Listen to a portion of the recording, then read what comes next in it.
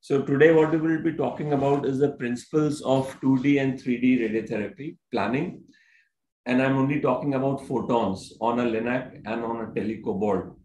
And why we're discussing this, because many times you all do very fancy planning, the physicists are involved, someone will do the imaging, the consultant decides what kind of radiotherapy is to be given, imaging is done, contouring is done, planning is done by uh, physicists and uh, radiation oncologists.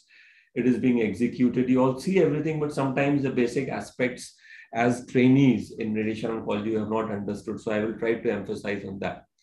So I think once a decision has been taken uh, in the clinical by the clinical team to give external beam radiotherapy, then uh, it is either palliative radiotherapy or a curative radiotherapy. So what are considerations in a palliative radiotherapy is whether sometimes it could be high dose or a low and medium dose because your subsequent planning will depend on that.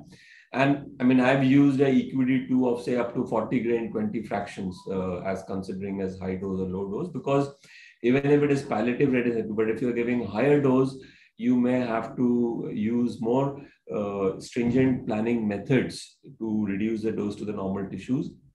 What is the patient's life expectancies?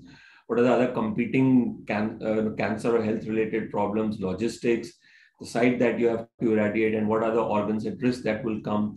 And also the expected acute and subacute toxicity, which will cause a problem, and when you can manage that. And if you expect that patient is going to survive, say, for more than a year or so, then late toxicities. And of course, when you're giving a curative radiotherapy, then age is very important, whether you're treating a growing child or an elderly person with comorbidities. What is the dose fractionation you use? It should be evidence-based, the site to be irradiated, the organs at risk. Very important, the body reserve and the organ and the body reserve. And again, the acute and late, the late side effects with a given dose for different volumes of uh, normal tissue. So the technique and the planning complexity is based on. So because a lot of things that before I go into the 2D and 3D planning. So one is the patient anatomy, which is not just the body size, the shape of the body of that region of interest, the internal organ, the target volume, they come in different sizes, shapes, and location within the body and how they relate to the normal tissues. What is the total equivalent dose uh, you want to give, high dose or low dose, whether you want to use high dose per fraction, Again, you would have you could have to be think of the double trouble and triple trouble. Then what are the acute expected uh, late acute and subacute and late toxicities? Then very importantly, we cannot ignore what is the planning time, treatment, planning time, treatment time, human resources, and money that could be justified for the radiotherapy course in that patient within with the above consideration. So you may have a child with a curable cancer and which is located in a difficult situation uh, position within the body where you have to not only control the dose to the surrounding healthy organs in the vicinity but also the integral dose the planning goals and complexity will be very different as opposed to a palliative radiotherapy you are doing for an elderly man uh, with has a very low uh, short life expectancy so I've just broadly divided simple 2D and 3D planning. So 3D planning need not be very complex, but sometimes very complex. So mostly it is done uh, simple 2D and 3D planning uh, is done in uh, palliative treatment, sometimes also in curative treatment. If complex treatment is not useful and increases the in integral dose, positioning and immobilization is kept simple. Planning is done with a wider margin. Uh, both uh, basically CTV to PTV margin. Uh, and it is done either on CT simulation. Many departments don't have an X-ray simulator, but if you have an X-ray simulator, many 2D and 3D plannings can be done on uh, X-ray simulator. Sometimes even that is not there. Uh, you could use a diagnostic CT and radiological anatomy. And in some situations, even on surface anatomy and skin marks, you know, combined with the radiological anatomy. Treatment is delivered on a cobalt.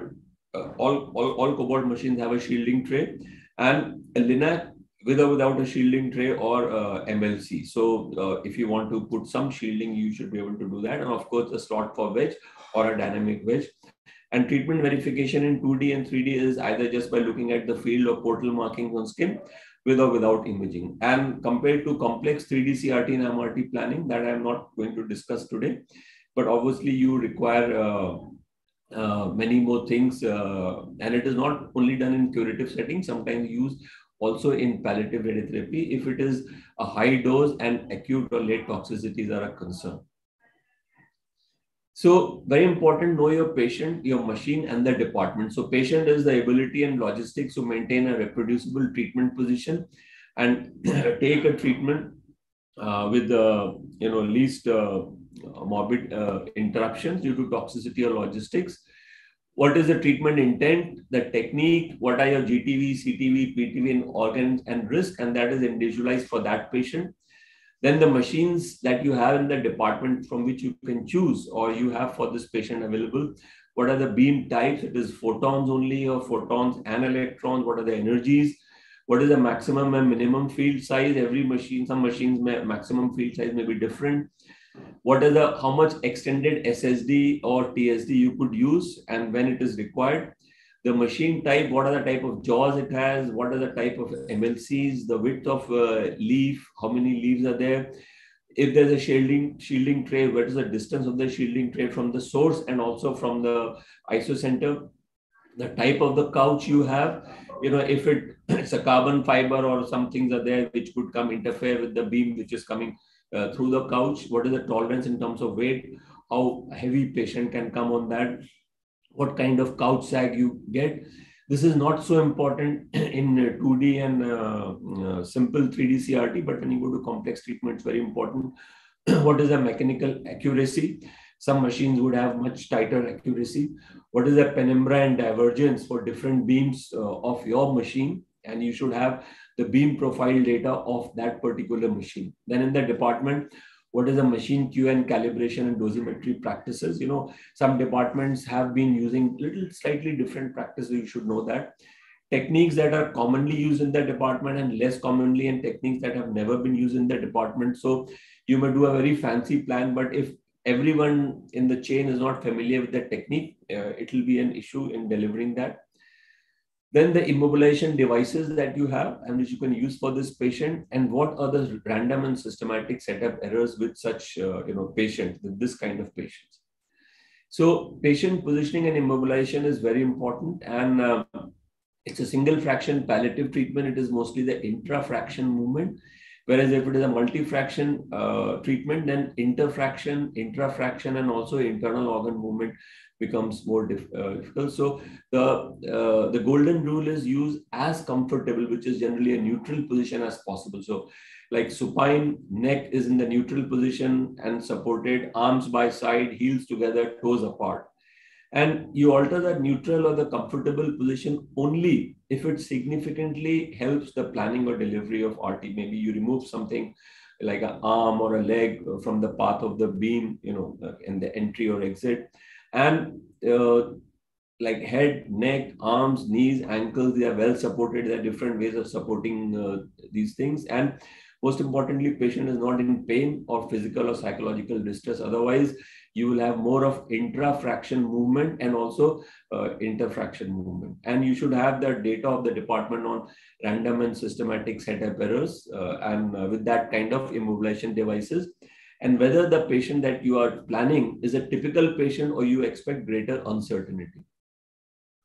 So the number of fields that you would use, uh, uh, single or multiple, the field arrangements, the techniques, shielding and wedges. So single photon fields used most commonly in palliative treatment and some radical or adjuvant treatments as we will discuss later.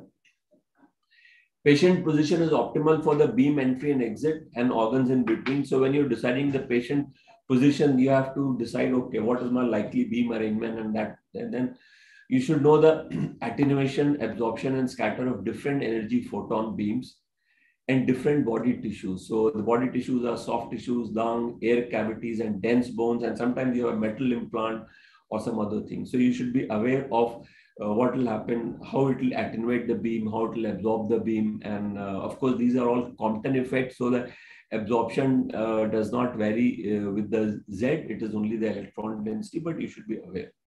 And very important skin toxicity, you should be aware what are the factors that determine skin dose and toxicity. Skin dose is directly related to the toxicity. Choose the optimal energy. highest possible energy is not always the best. You may have a 20 MV photons or a 15 MV photons, but for a given case, as we will discuss later, it is not optimal, it is suboptimal. And in specific cases, use the beam with the least penumbra and divergence. Uh, you should know which are the cases where it matters.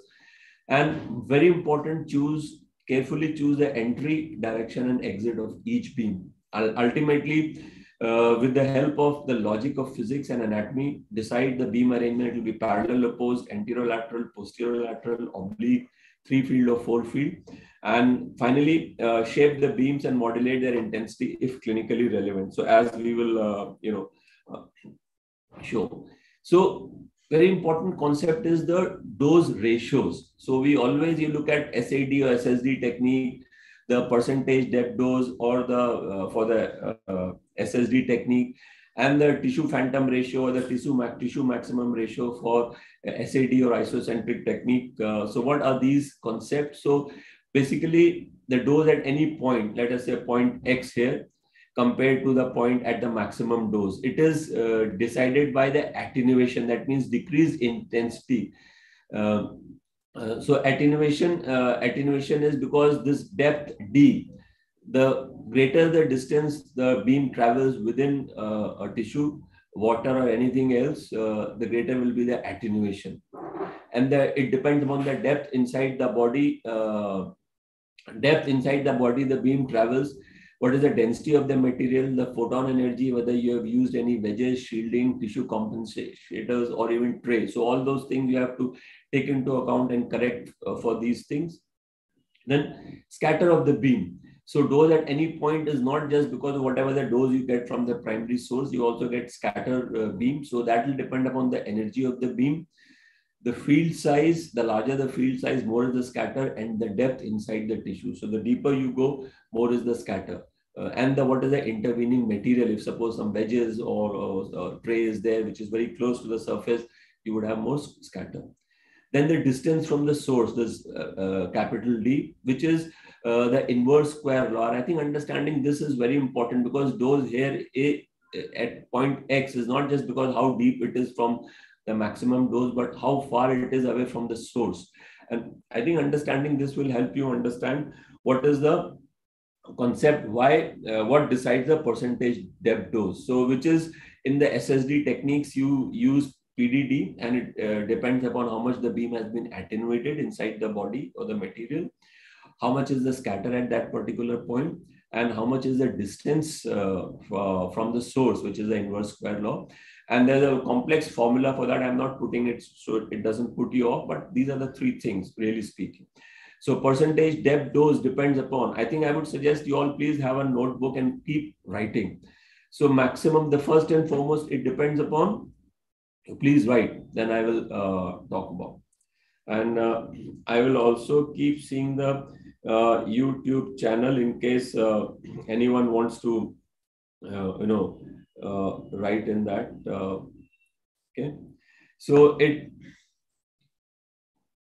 with increasing energy. So higher energy, higher the percentage depth dose.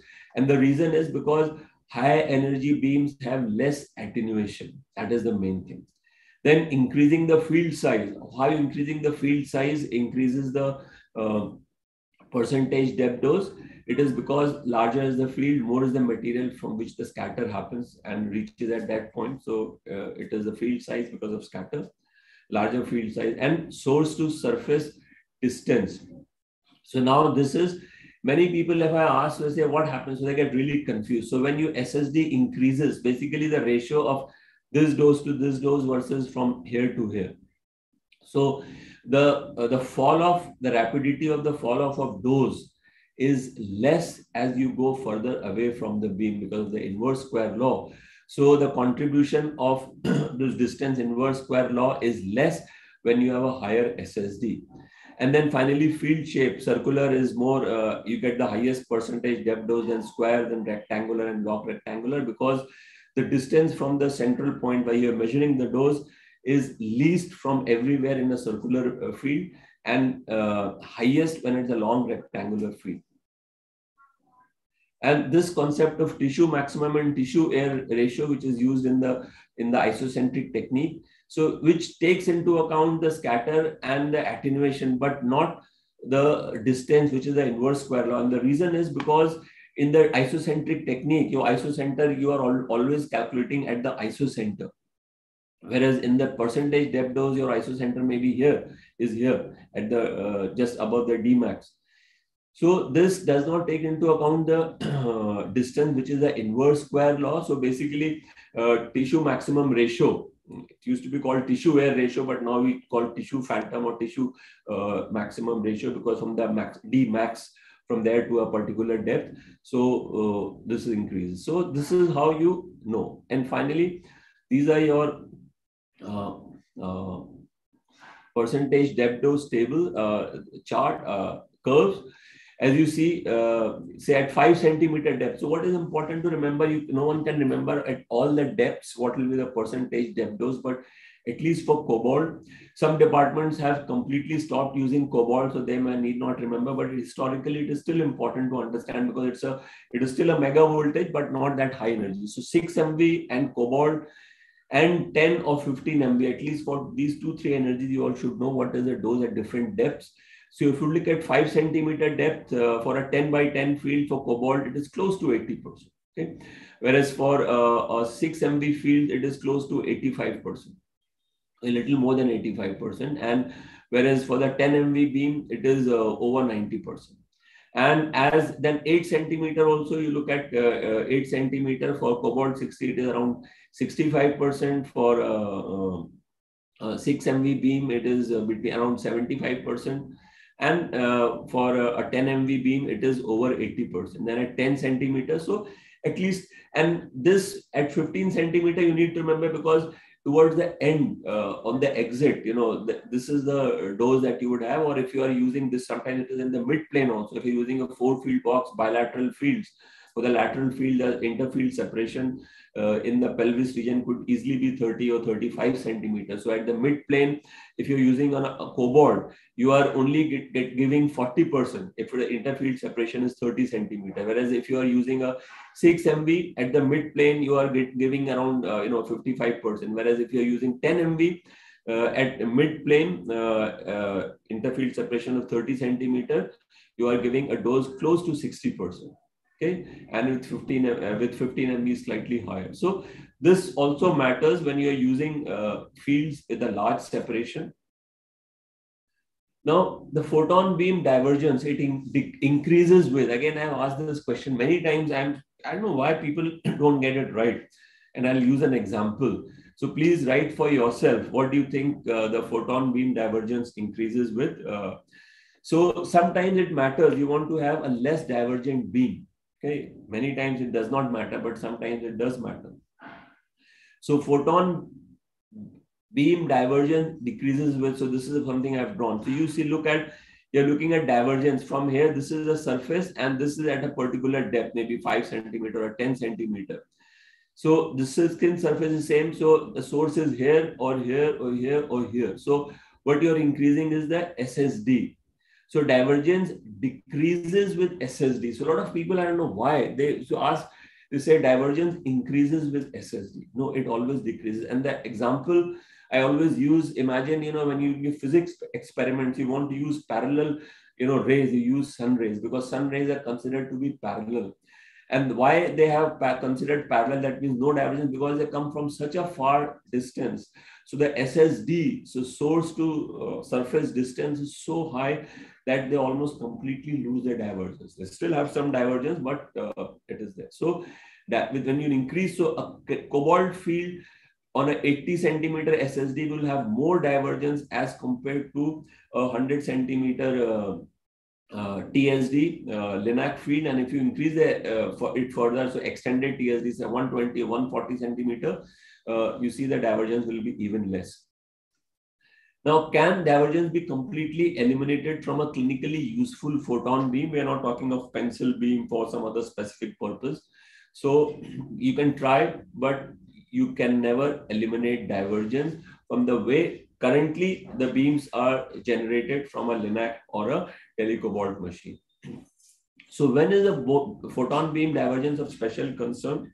So you should know that you need not always run and do special things. So when it is of special concern is if you're using multiple fields and you have a critical structure like brachial plexus or you have a spinal cord or sometimes uh, you have a, a, sense, a structure which has a low uh, threshold like a lens and the divergent beam you're treating one orbit from the right lateral and the divergent beam is uh, going through you have saved this lens on the right lens you have saved but the uh, opposite lens uh, the divergent beam goes and fires so how to manage issues due to divergence? So the one thing is uh, not right now you will not use it uh, most departments will not use it but when we were resident we used to do gap calculation.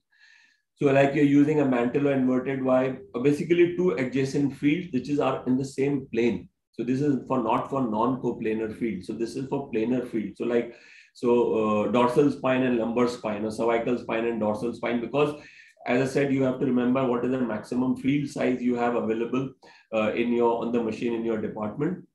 And you should also know what are the ways to increase that available field size. So the field size is given at the ISO center. The, the what is the prescription? ISO center, which will be in SSD technique, it will be on the skin. And in the SAD technique or the TAD technique, it will be at the you know at that uh, field where your isocenter is inside the body. Uh, uh, so, but if you increase the SSD, as I've shown, if you, uh, no, I'm not shown, if you increase the SSD, the field size available uh, on the surface will increase. So there are ways, sometimes 40 by 40 is not uh, adequate and you have to, instead of using a matching field, and you just had to be a 44 centimeter, if you use 110 uh, centimeter SSD, uh, instead of 100 centimeter, you would have a 10% increase in the field length and you will get a 44 centimeter field. But if suppose that also does not suffice, if you are treating an adult uh, spine and you have to treat the entire spine like earlier we used to use for craniospinal irradiation. So uh, what happens at this point depth, if you want to match the fields here, then you're basically matching the 50% isodose lines. It, inside it will overlap and that will get higher dose. So if you keep a gap on the surface, then it will match at a depth, which could be say five centimeter or just beyond the spinal cord.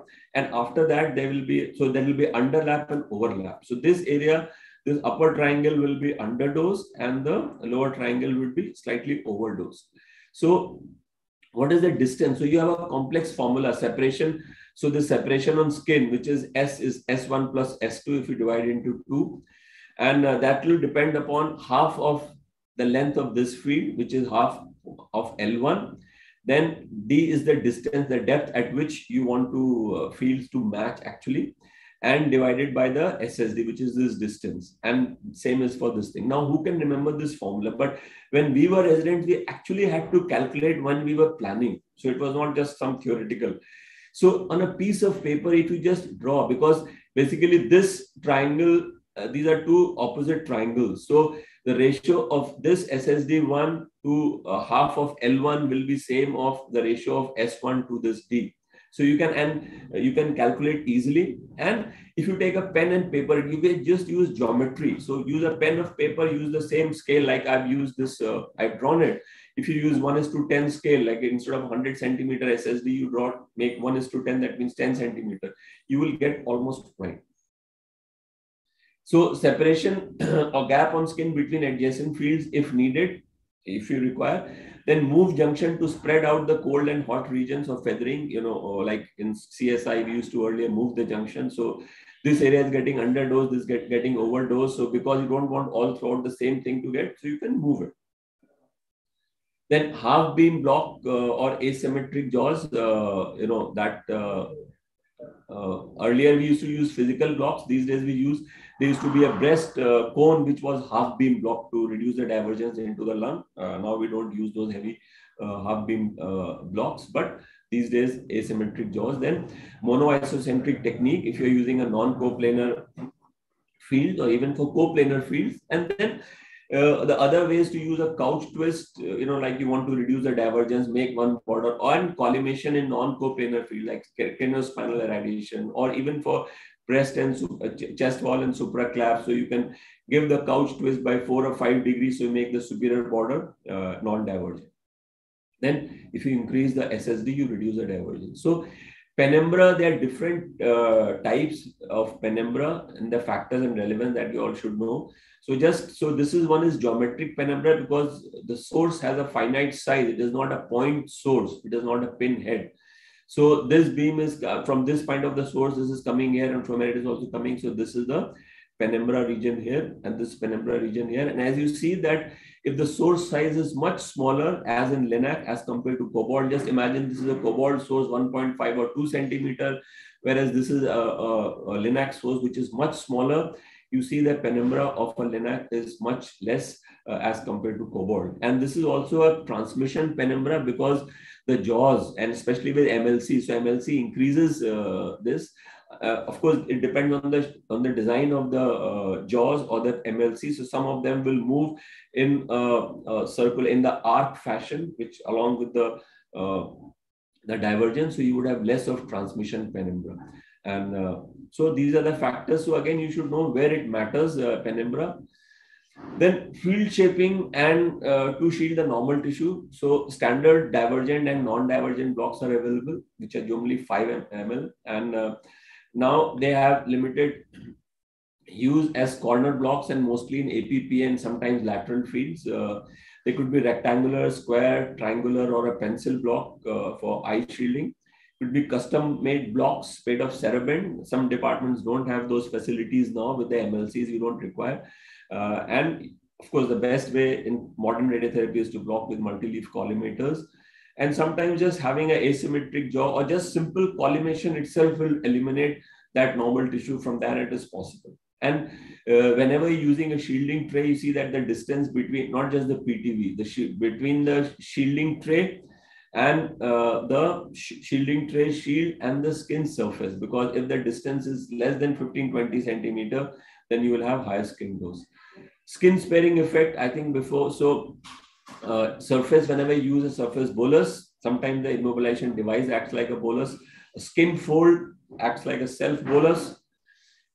When you have a lower energy so the dmax decreases uh, and as range of because the range of electrons is less and you sometimes forget there is an exit dose from the opposing field. If your interfield separation is not large and if you use say 15 MV photons, the exit dose is also quite significant. Remember that uh, percentage depth curve. Then when you have more higher field size, so the uh, Dmax decreases and the skin dose decreases because more of scatter. Oblique incidence, many cases like in the tangential field or in the limb or in the breast, sometimes there's an oblique incidence, sometimes in the neck also. So you have higher skin dose and then scattering from other material like shielding tray. Finally, when we use single of uh, multiple photon fields, what are the energy arrangements, techniques, and how you will modulate the beam is single field is only in palliative treatment uh, to spine, sternum, ribs, and some large fungating tumors very few curative settings or adjuvant RT like orbit sometimes use in spine if you are not using other more advanced technique for uh, craniospinal irradiation. In all other sites, use at least two fields or sometimes up to four fields or even five fields. For simple 2D and 3D conformal, we rarely exceed more than four fields. Then it becomes more complex 3D conformal radiotherapy.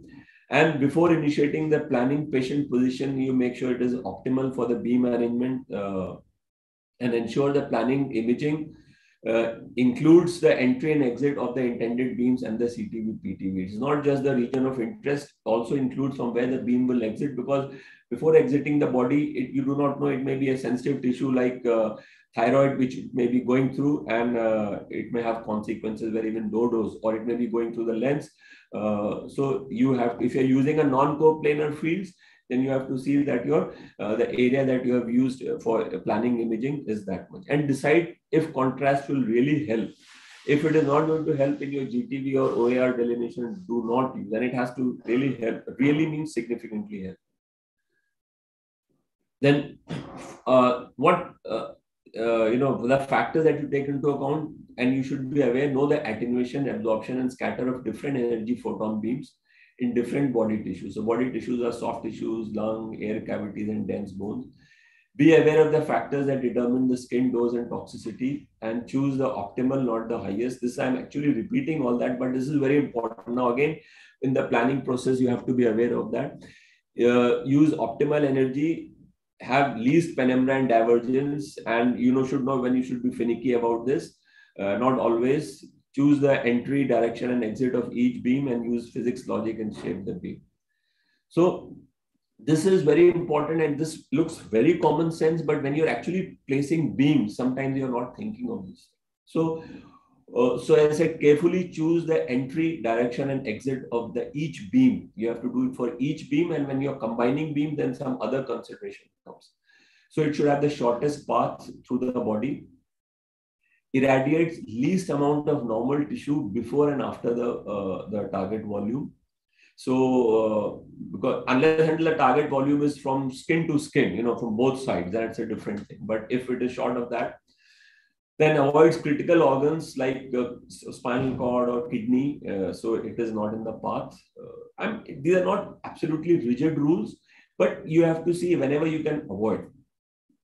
Avoid unusual anatomy. Suppose something is just suddenly bulging out, so that will anything which will cause perturbation, perturbation of the uh, dose avoids skin folds, avoids area that will perturb the distribution. And in multiple beams, the intersection area is as small as possible and as conformal to the planning target volume as possible. So this is very important when you use multiple beam.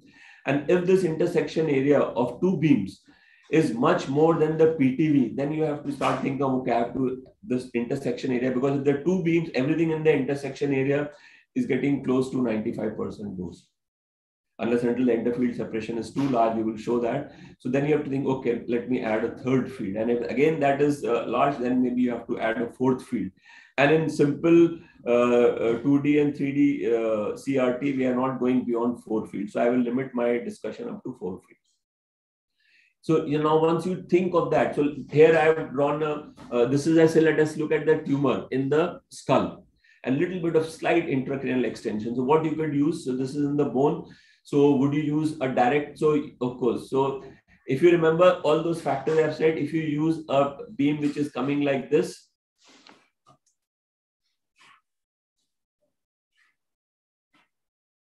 if you use a beam which is coming like this, what will happen? Of course, it will go through a lot of uh, normal tissue. You know, it will exit, go through the brain. So this is not acceptable. If you put a beam like this, then yes, it will go through that, but it is quite a distance. So this posterior part of this uh, tumor uh, target volume will not get adequate dose.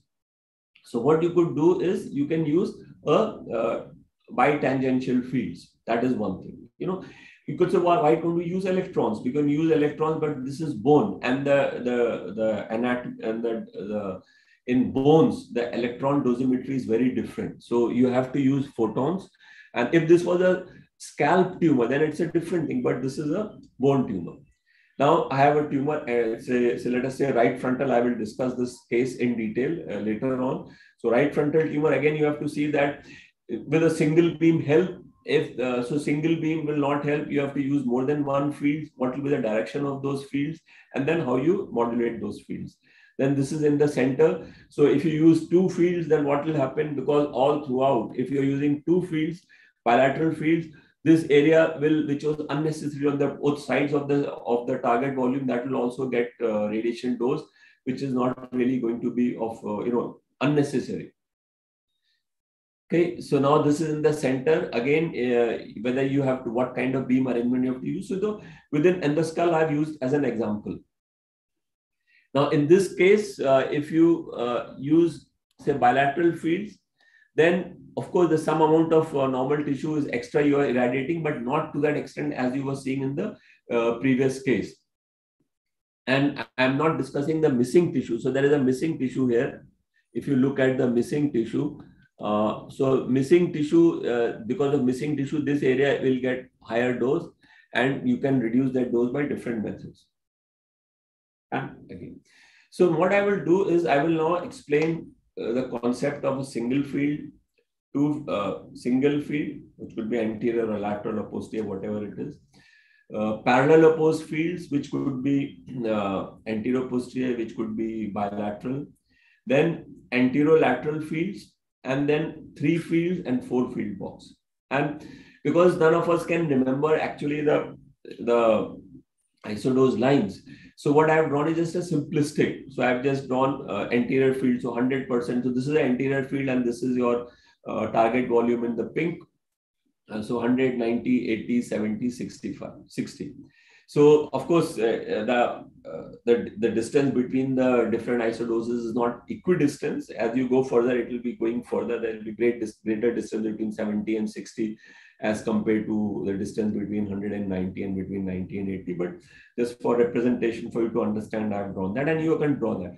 So in this, what will happen? So I've put this the dose I've written say 95 in the center of between 190, it is 95, then 85, 70. So, so this would be acceptable or single photon field would be acceptable uh, only if coverage is adequate by either 95% if you are uh, treating a curative setting and in a palliative setting sometimes 85 or even 80% coverage we accept, and then the homogeneity is there uh, within this, then the dose beyond the PTV is acceptable or the best trade-off. Okay, sometimes, uh, you know, so that has to be acceptable. Suppose if I'm treating this and you have a lot of small bowel and it's a large field, a lot of small bowel and which will get a high dose and you can have acute toxicity. Even in a palliative setting, I have to really think about it. Okay. So that's why we've discussed mostly in palliative treatment and some curative techniques. So now uh, we have this anterior beam and you have added a posterior beam. So posterior beam, here it was 190, 80, 70 and uh, 60. Now it is going the other way around 190, 80, 70 and 60. So you have two fields, anterior and posterior and this is your uh, target volume. Obviously, this was too large to be covered by an anterior field alone because uh, uh, this would have been grossly underdosed. The homogeneity the dose gradient within the target volume with a single field would have been too large and unacceptable. And even if it was a palliative treatment, if you were treating through and through, it would have been unacceptable. So remember, when the spine you treat with a palliative single posterior field, the spine is much closer to that field. It is most posteriorly. So anterior, anterior posterior separation may be 20 centimeter and your target volume depth is up to 5, 6, 7, 8 centimeter, depending upon which uh, vertebra you are treating. So uh, if you can't remember this, so what I've added is, uh, so 95, I've taken an average of between 90 and 100. So this uh, gets from the AP field, it gets 95. Uh, anterior posterior field, it gets 95. From the posterior field, uh, posterior anterior field, it gets 65. And in this area, it gets uh, 65 from the anterior posterior field and 95 from the posterior anterior field. So again, it gets 160.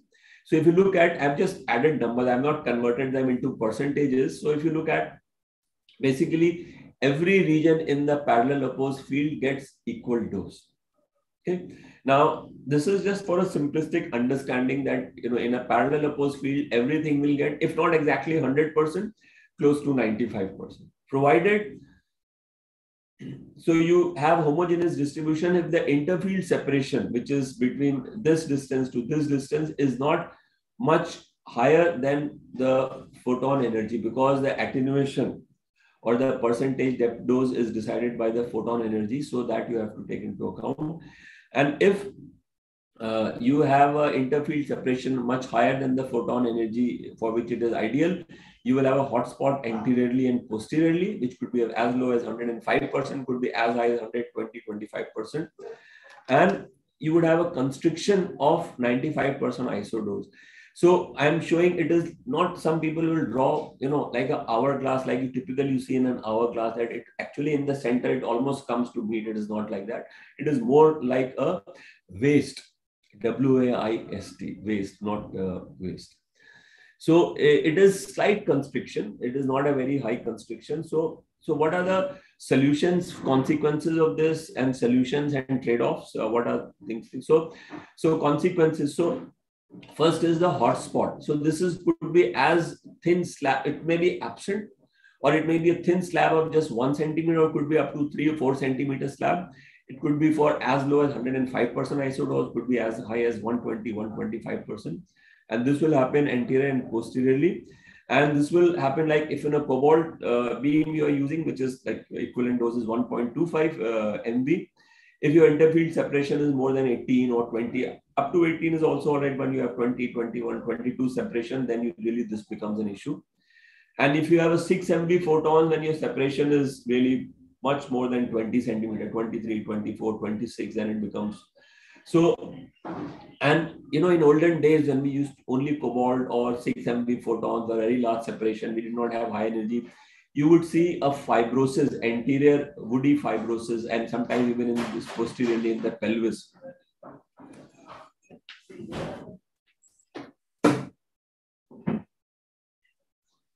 So you could increase the energy or you use a four field or a three field box. So now second is the constriction of 95% uh, isodose. Again, because of this, uh, you may have underdosage. Uh, suppose you may have the nodes uh, laterally in the pelvic wall and they may get underdosed, might not be covered by 95%. But that doesn't mean they are not getting, they might get 93%, 92%. So actually 90% isodose I will show later, which is more or less straight. So they, that area might get anywhere between 90 and 95%.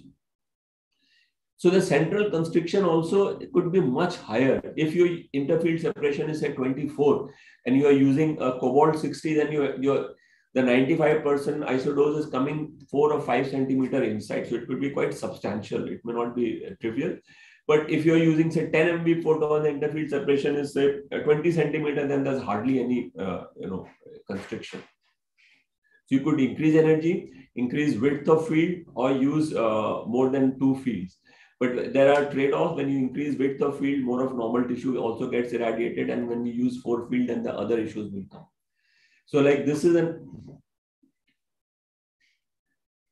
example of 6 MV APPA field. So uh, you know, our trainees, uh, Tejasvi and Tehsina, they made these uh, slides. I asked them, requested them, they gave. So you look at 95% is just slight constriction inside. But generally, in this case, it will not be, uh, in this, the AP separation was 18 centimeter. and there is no 110% isodose here. But if you look at for a larger separation, this is on a, on a cobalt. Uh, you see there is a 110% anterior and posteriorly as we were showing in that. But when you use high energy photons, like this is a, a 15 MV photons, you do not have that. And uh, the, the anterior and posterior hotspots are not there.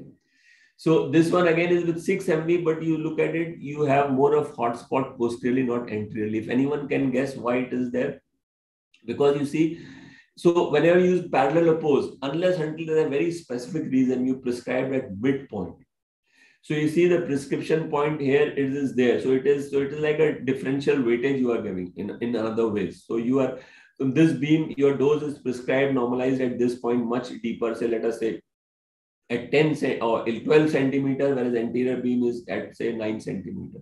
So you get a larger hotspot uh, in this 110%. Now, this is a four field box. Rest everything is taken care of, but you see a 110% isodose anteriorly.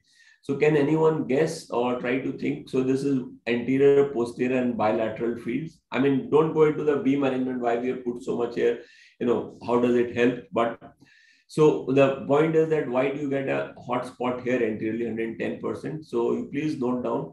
This is because there is missing tissue anteriorly because for the lateral beam. So it has so the dose at any point, remember, it is the distance from the source, the attenuation within the body uh, or the material, and the third is the scatter. So there is less attenuation, so that's why the dose is more. so now I'm showing a different kind of field arrangement, which again, sometimes it is difficult to understand, you know, what why you get a hotspot. So this is the anterior field, and then you've added a lateral field. Okay, so one anterior and one lateral field, and you see also this uh, target volume is also lateralized. So just imagine a maxillary antrum or some other, uh, you know, uh, target volume. So what will happen? So again, I put the isodoses 190, 80, 70, 60 for the right lateral field and 100 to 60 in this thing. So what will happen if you just add the number. So you have to predict where would be the hot area or the higher dose and where will be the cold or the lower dose. And this is uh, the dose is higher or lower as compared to the reference point, which is generally the center of the target volume or other other ISO centers. These are sometimes in the planning, you don't normally use, uh, always use the ISO center, but uh, I think in terms of understanding the concept and planning, using the ISO center for isocentric technique is the best way because you your uh, your TMR and TPR tables are calculated that way. So what could be the consequences, solutions, and trade-offs? So where would it? So you all only think uh, where uh, on a pen and paper, just put where you think the hotspot will come and where you think the cold area will come.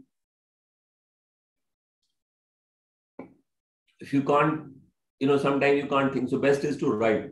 So look at this corner, the upper left corner. So this is getting 95% from uh, uh, anterior beam and 95% from lateral beam compared to this lower outer corner. This is getting 65% from the anterior beam and 65% from the right lateral beam. So this gets the lowest dose and this gets the highest dose. And then it is a gradient. As you see, as you're moving from uh, you know right to left, the dose is decreasing. And you're as you're moving from anterior to posterior, dose is also decreasing. And so this corner gets the so this area gets the highest dose from both the beams and this area gets, this corner gets the lowest dose from both the beams. Okay. And so in a different way, any point in the target volume which is closest to both the beams will get the highest dose and furthest from both the beams will get the lowest dose. So this these areas will get a high dose, uh, 180, 190, 170. And I'm just looking at this reference. So reference dose will be like say 160 and these areas will get a, uh, low dose, cold area. So how do you, what you can do for this? So you can use a wedge. Would anterior wedge alone would help. So if you have put an anterior wedge, which is thick and uh, uh, thick and uh, uh, laterally, what will happen then? It will reduce this, but not in the other axis. You can see the gradient is in both the axes. So when you use a, a wedge pair, anterior and uh, lateral wedge pair, then that is taken care of and you would get a, theoretically, you would get a, uh, a good distribution. Now you have one anterior, one right lateral as we shown, and you have added a opposite left lateral field. So this is a three field technique.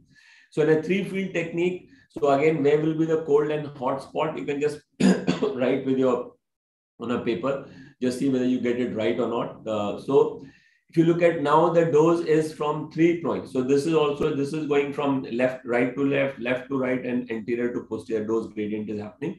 So this point is getting 95% from the anterior field, 95% from the right lateral field, but from the left lateral field, it is getting only 65.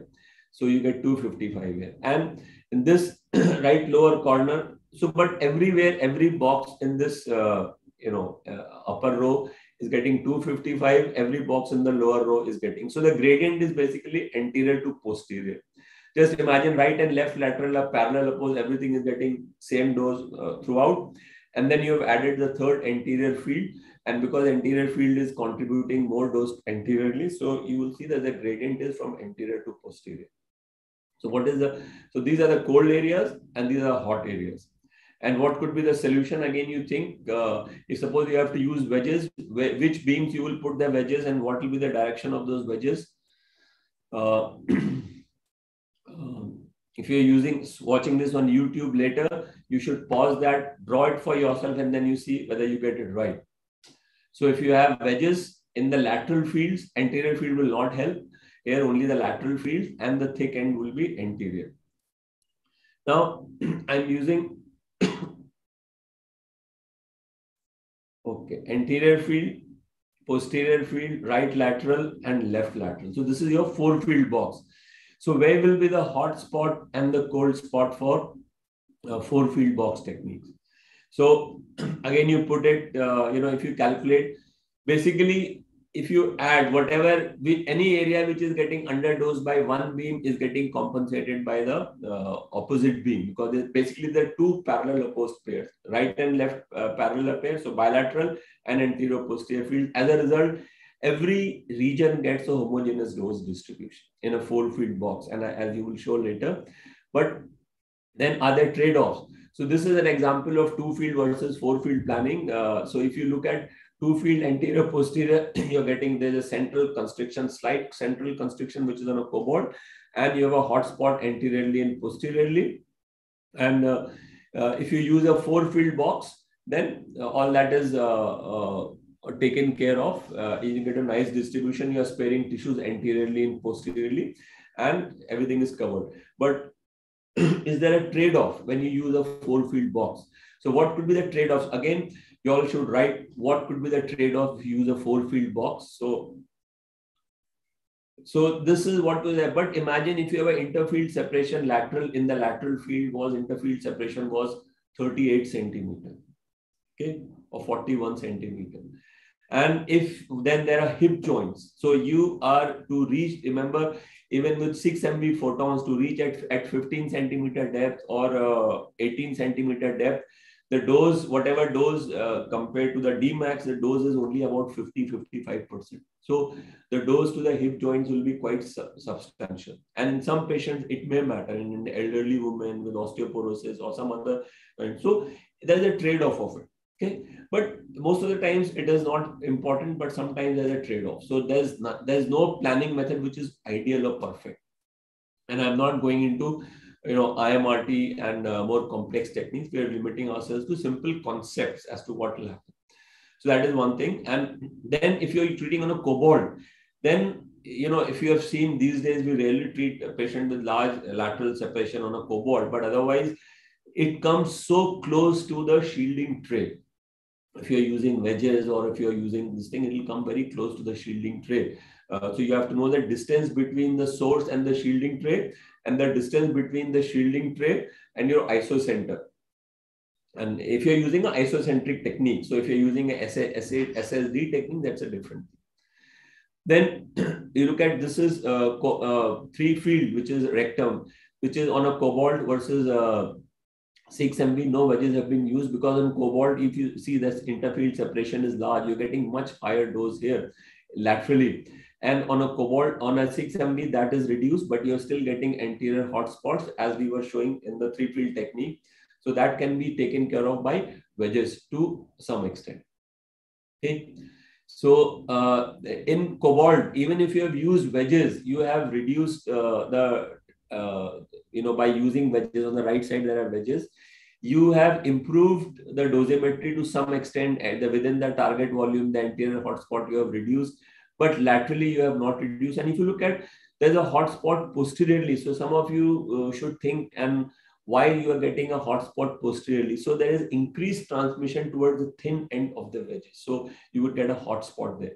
Many times it is happening inside the in the soft tissue and it is of no consequences. But so this is really clearly a suboptimal plan. You should not use it. But you look at the patient separation. But sometimes in some centers and in our centers also, once upon a time, uh, when there was only one LINAC, it had only 6 MV photons, there was no choice. So at least you should know what will be the consequences if you use a suboptimal beam energy for a patient uh, who has a large interfield separation.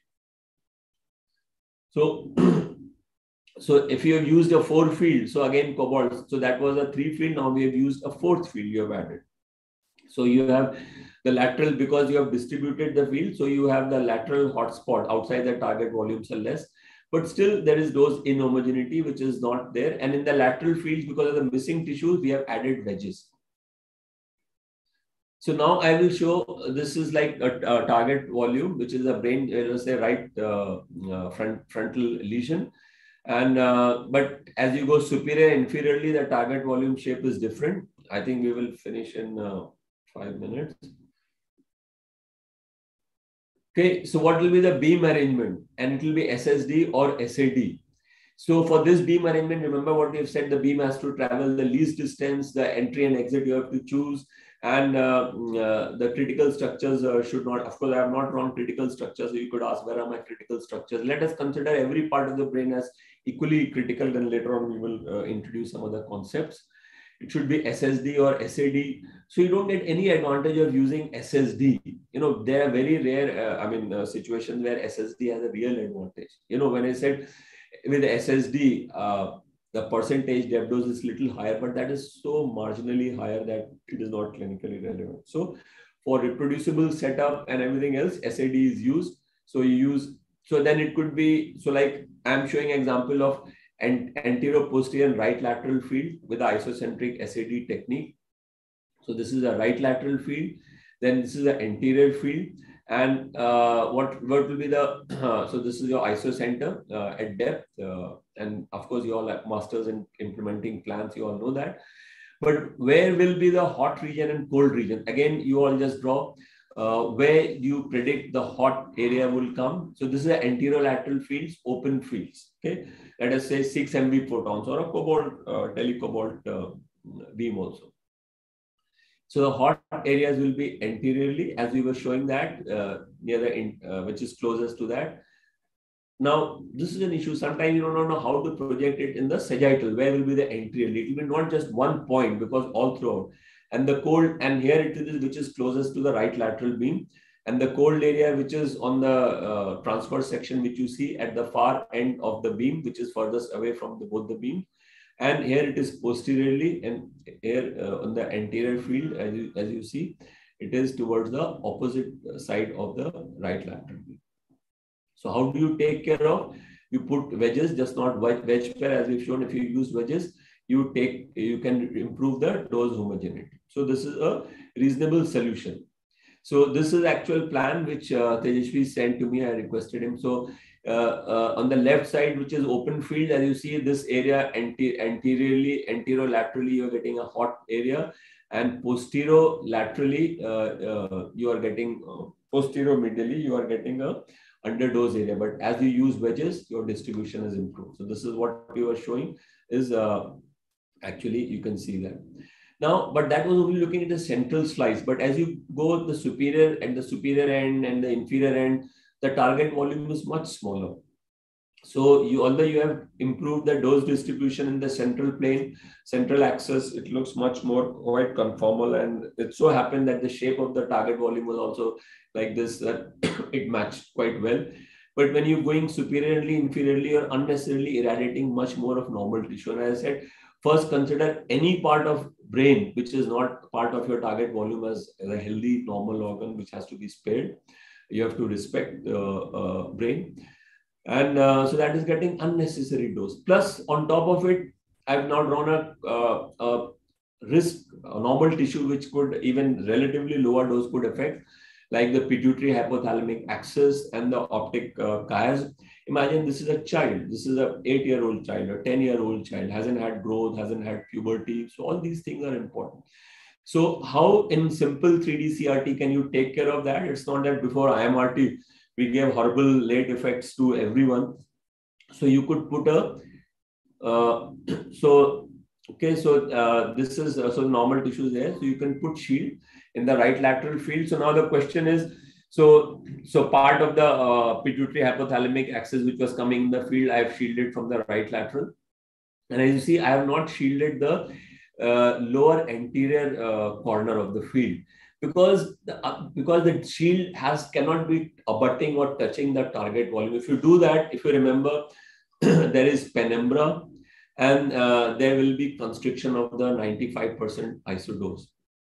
So you will be underdosing that. And if I give margin to the target volume, I mean, how little I will be shielding, basically just if eyebrow is a particular concern, you know, that I'll be just shielding a, any shield which is very small serves very little purpose because after some depth, the shielding effect is gone because of the scatter contribution. You know, rest of the field is scattering. So, I, I mean, it doesn't really add much. and imagine if these are not customized shield, you know, uh, and these are I have to actually marking and you know putting in the lateral field more shields. I put more and anteriorly because if you give margin to the the superior corner in the uh, lateral field because this is a, uh, the skull. I mean, so little of skull I will shield, and again it will have very marginal effect.